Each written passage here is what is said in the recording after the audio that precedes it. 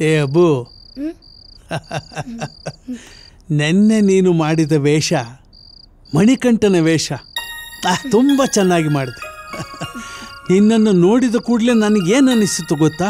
ಸಾಕ್ಷಾತ್ ಅಯ್ಯಪ್ಪನೇ ರಂಗಸ್ಥಳದಲ್ಲಿ ಪ್ರತ್ಯಕ್ಷ ಆದಾಗಾಯಿತು. ಏ ಅಬ್ಬು ಏನು ಹೇಳಿದ್ರು ನಗ್ತಾ ಇದೆಯಲ್ಲ ನೀನು ಅಭ್ಯಾಸ ಬಿಡಬೇಡ. ನಾನು ಹೇಳ್ತೇನೆ ಕೇಳು ಒಂದಲ್ಲ ಒಂದಿನ ನೀನೊಬ್ಬ ದೊಡ್ಡ ಕಲಾವಿದನಾಗ್ತೀಯ. ನಿನ್ನ ಅಭಿನಯ ನೋಡಕ್ಕೆ ಯಕ್ಷಗಾನ ಪ್ರಿಯರೆಲ್ಲರೂ ಮುಗಿ ಬೀಳ್ತಾರೆ. ನೋಡ್ತಾ ಇರು.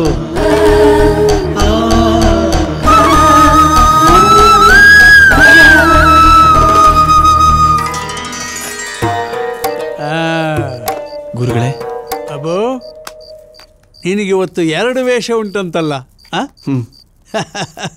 ನೀನು ಒಂದು ವೇಷ ಮಾಡಿದ್ರೆ ಹೊಟ್ಟೆ ಹುರ್ಕೊಳ್ಳೋರು ಇದ್ದಾರೆ ಇನ್ನು ಎರಡು ವೇಷ ಮಾಡಿದರೆ ಹೇಳಿ ಕುಂಟ. ಆ ಸತ್ಯಪಾಲಂತೂ ನಾಳೆ ಹಗಲಲ್ಲೇ ನಿದ್ದೆ ಮಾಡೋದಿಲ್ಲ ಅವನು. ಮಾಡು ಮಾಡು.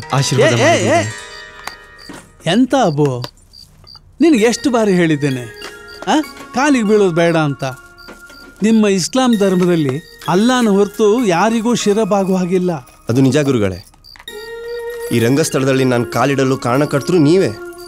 ಈ ಬಣ್ಣದ ಬದುಕು ನಂಗೆ ಅನ್ನ ಕೊಟ್ಟಿದೆ. ನನ್ನ ಈ ಚಿಕ್ಕ ಕುಟುಂಬನ ಚೆನ್ನಾಗಿ ನಡೆಸುವಂತೆ ಮಾಡಿದೆ. ನನಗೆ ಹೆಸರು, ಕೀರ್ತಿ ಎಲ್ಲ ಕೊಟ್ಟಿದೆ. ಇದಕ್ಕೆಲ್ಲ ಕಾರಣಕರ್ತರು ನೀವೇ. ನಿಮ್ಮ ಕಾಲಿಗೆ ಬೀಳೋದ್ರಲ್ಲಿ ಏನೂ ತಪ್ಪಿಲ್ಲ. ಅಲ್ಲ ಕೂಡ ಕ್ಷಮಿಸ್ತಾನೆ. ನಂಬಿಕೆ. ನಂಬಿಕೆ ದೊಡ್ಡದು